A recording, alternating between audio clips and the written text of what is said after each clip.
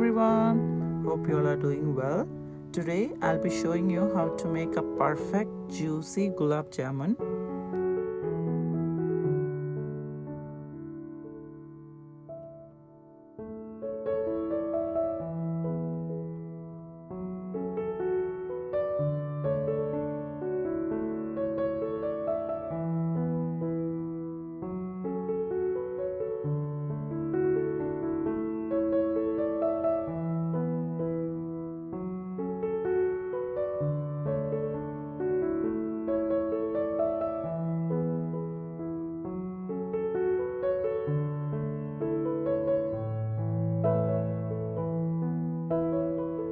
Here I have taken 3 4th cup of milk powder.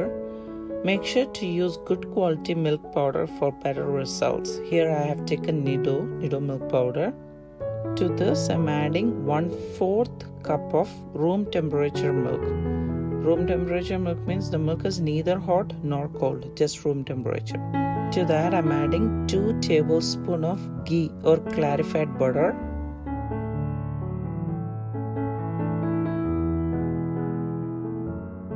now let's mix everything properly.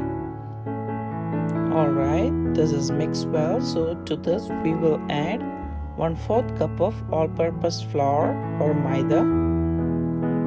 And also we'll add half teaspoon of baking powder. Not baking soda baking powder. Okay?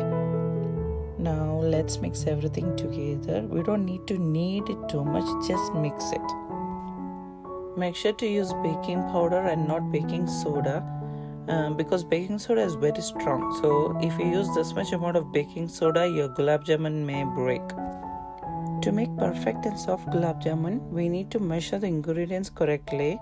Otherwise we may end up making very tough gulab jamun or even cracked gulab jamun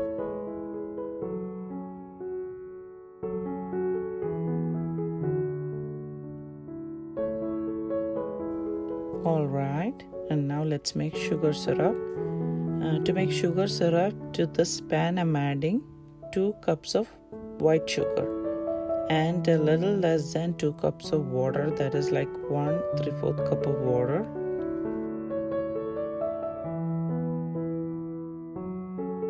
So to this i'm adding few pods of cardamom and few strands of saffron. That is elaka and uh, kunguma puva now mix everything together and allow this to boil. I'm making small balls here because I like to make small size gulab jamun rather than big ones. But if you want to make big size gulab jamun, you can make big balls. So with this amount of measurement, I got 17 small balls here.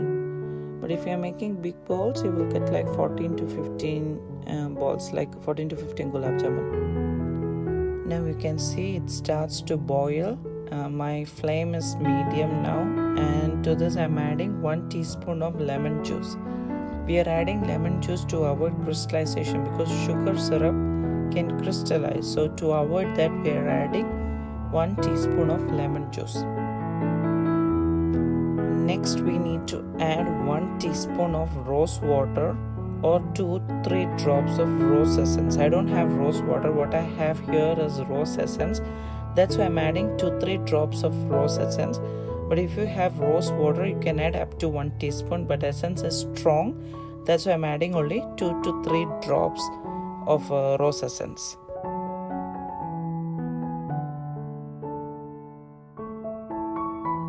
So now we'll mix all together and let it boil for like 4 to 5 minutes or until we get a sticky consistency. When you touch uh, the sugar syrup, you should feel sticky. That's what you're looking for. And uh, we don't want a string consistency, we want only sticky consistency. So now we can off the burner. Let's fry these balls. Here I have enough oil for frying and I kept my burner in low flame Always keep the flame low for frying these gulab jamuns, otherwise, they may burn and uh, it won't cook properly. Fry until these balls turn light brown in color.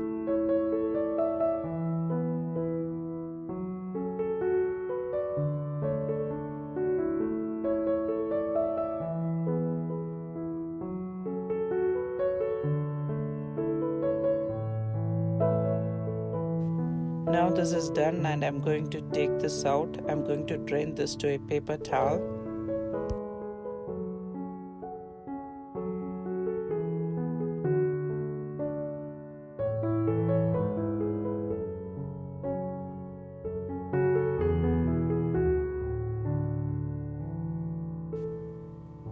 Now here I'm going to fry the second batch in the same way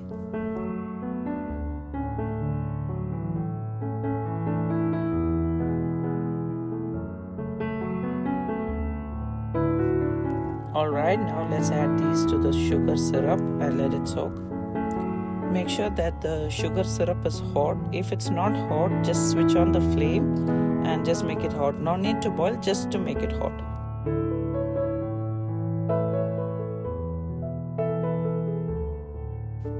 So we have added everything to the sugar syrup and uh, let's mix everything together. My sugar syrup was not hot enough so I switched on my burner just to make it hot. Alright, so the syrup is hot now.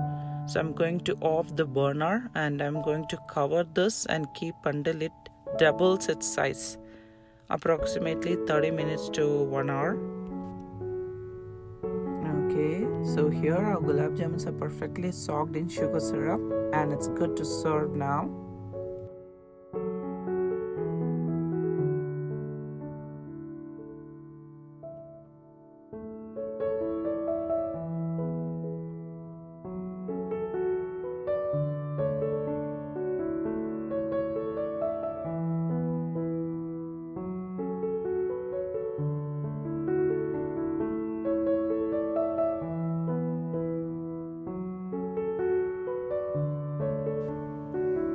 Gonna decorate with some pistachios chopped but that's optional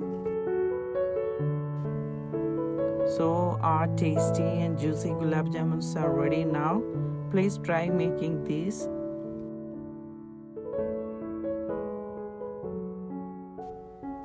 I hope you all enjoyed this. I'll be back with another great recipe. Until then, you all take care and God bless.